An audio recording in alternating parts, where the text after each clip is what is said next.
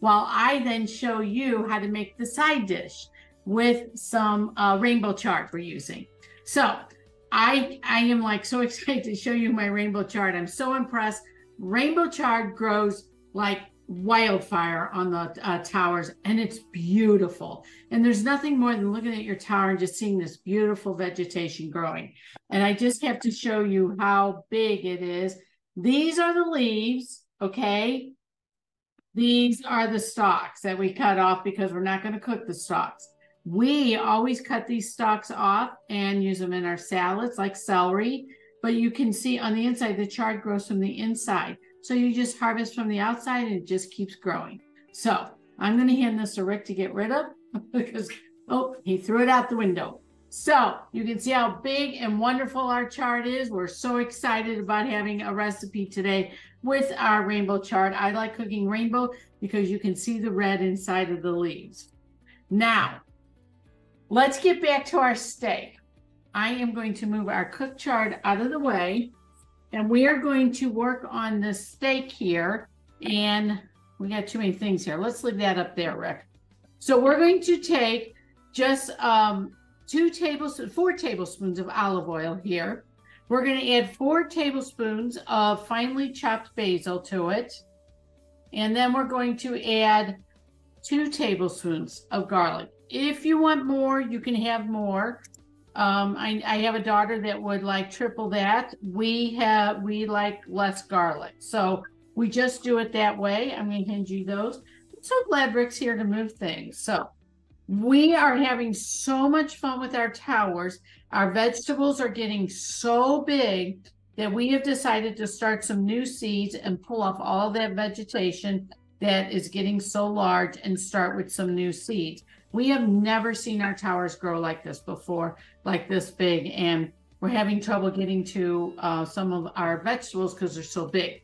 So we're going to pull some of those vegetables and start with some new seeds just so the sun can get in there and get some of the other things going. Well, this looks really, really nice. All I did was mix this together, as you can see, and then we're going to do a little bit on each side of the steak. Hmm, what are we turning that steak with? Oh. Yeah. Okay. Rick's going to use. Oh, I did not tell you. Look at how beautiful. Well, it's a little wimpy right now because it's been out of, out of water, but it, our basil is beautiful this year. Okay. So we're going to do just a little bit on the steak here. Just, you know what? You go ahead and flip it. I don't want to use that spoon again. Guys, be careful of cross-contamination. It's very important. I'm gonna I'm gonna get a clean spoon out for what I was gonna use this spoon for. Yeah. So now he's gonna put that right on the grill and cook it. We are going to save the rest of the basil for when he is done cooking. So I'm just gonna kind of set that aside and I'm gonna put these spoons to the side so because this has uh, uh, the meat juice on it. Be very careful cross contamination, guys. You don't want to be doing cross contamination on anything. So I am going to start working with the chard. And this has been very, very easy to do. All we did is we pulled the chard, we cut the stems down because they were so long. We will continue to keep the, those stems one, you can chop them up, put them in the freezer. They're ready to go in any kind of soup you want to add. If you're cooking a soup, a stew, whatever, you can add those in just like you would celery. In addition to celery, you don't have to not add celery, but that would add in a whole nother level of flavor. So we have Rick outside putting the steak on the grill. It's going to cook up really, really fast. And while he's doing that, um, I'm just going to show you how we cook the chard because we redid one.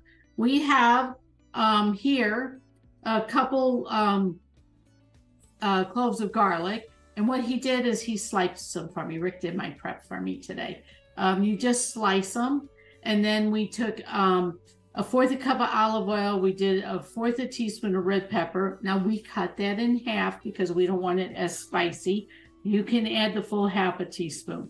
We did some salt and pepper, like about uh, what's about a half a fourth a cup, not a cup, a teaspoon. Sorry, guys let me look. Oh, half a teaspoon of kosher salt. And then you add some pepper. And then we're going to just put pour this onto we found out that we should have only put half of the oil on last time.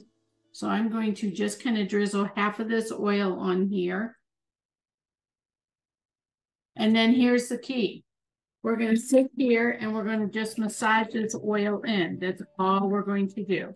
You're going to get this all into all of the kale, um, chard. The recipe also says you can use kale.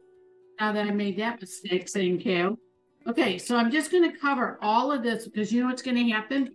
Rick is going to, when he's done cooking that steak, he's going to come in and get this and he is going to just go right out into the grill and put this on top of the grill. See how you just massage it in there.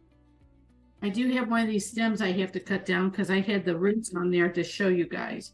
Now, why are we eating so much chard, guys? Well, one, it grows fantastic on the tower. I'm not going to, we've said that before, but did you know that any dark green leafy vegetable is like so nutrient dense? It's like as good as, almost as good as um, kale. That's why I kept saying kale because I want to bring that up. The, uh, okay, so kale is the king of dark greens. We know that. But the chard is equally impressive because it is so nutrient dense.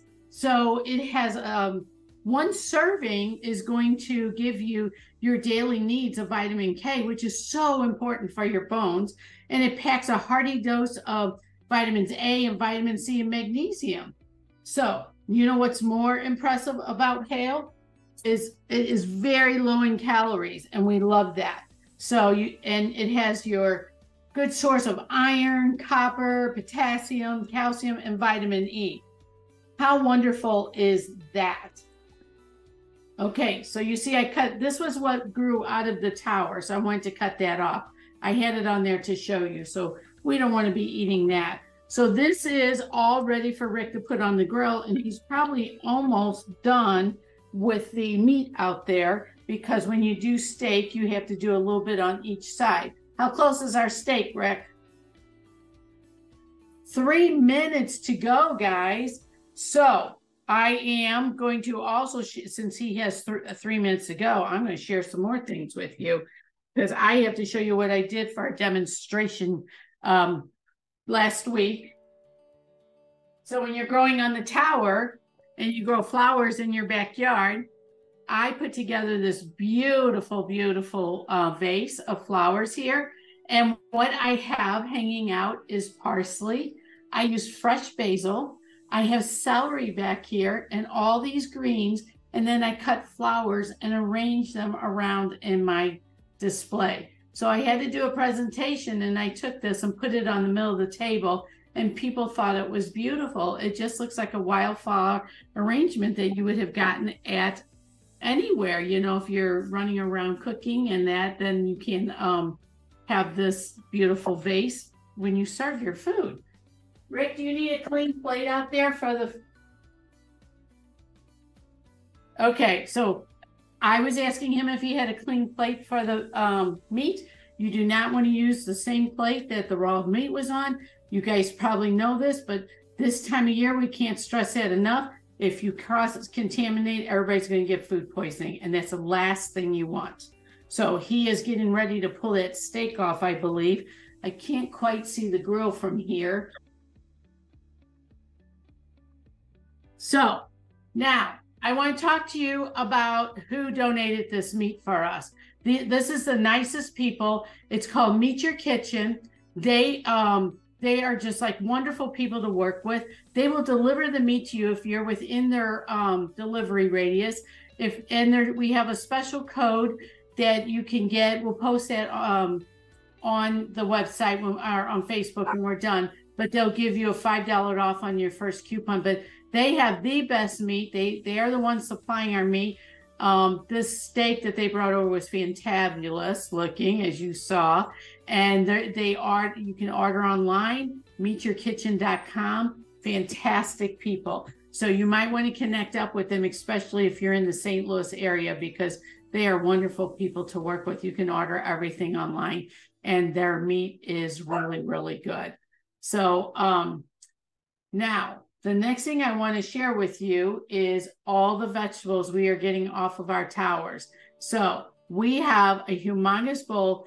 We have the zucchini and summer squash squashes growing like crazy. But guys, I think I'm up to about five pumpkins now that have shown up and they have warts all over them. They're tucked right in the corner there. And then I have a whole nother sugar pie pumpkins for making pumpkin pie is scrolled all the way up that wall and he is turning bright red.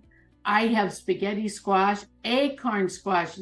Little yellow thing back there was acorn squash and tomatoes galore. I cannot tell you we we planted so many different types of tomatoes because we wanted to try them and they are so heavy and when we get tomatoes man we're going to have to do some real good cooking shows on what to do with those tomatoes.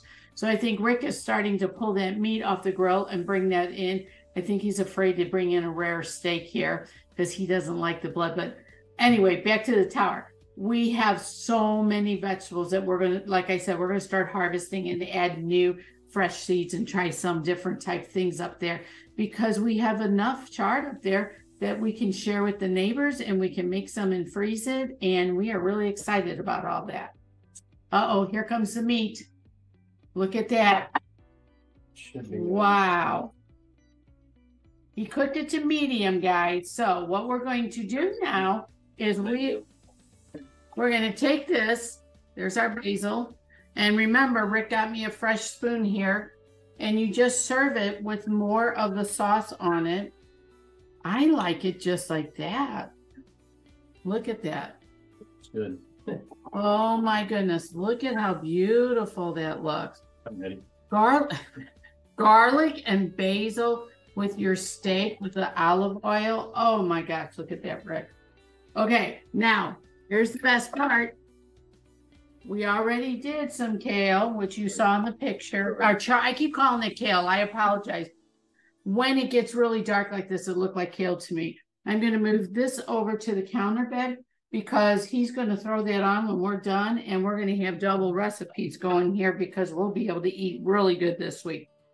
What do you want to try first?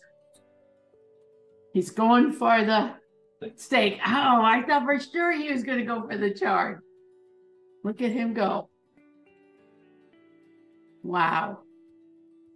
So while he's doing that, let's give a shout out to our cameraman here, guys. Um, Catman Marketing Manny, he's fantastic. If you guys need help, just let us know and we'll connect you guys up. Ho ho! Good. Very good. Okay, now you got to try the others. You got to have your greens, not just your protein. Okay, so something that's really important that I just learned is that if you eat a protein, you need to balance it with a carbohydrate, which would be a fruit, a vegetable, something so it all metabolizes in your system better. So I had a long chat with a nutritionalist this week, last week, and that's what she taught me. You're like, I like that. okay, That's good together. really good together. That's why I did it. He's not sharing, guys. You see this? He didn't even bring me a fork today to try anything. Stop eating. Got one for you. Okay, I I want to taste this so bad, and he is not sharing. Okay. Oh, that meat is fantastic from Meet Your Kitchen.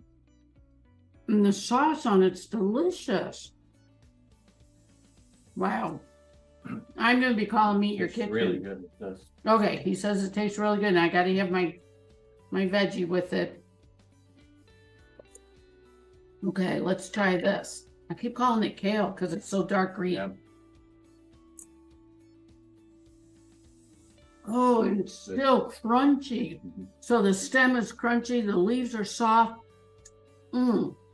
The grilled flavor is fantastic.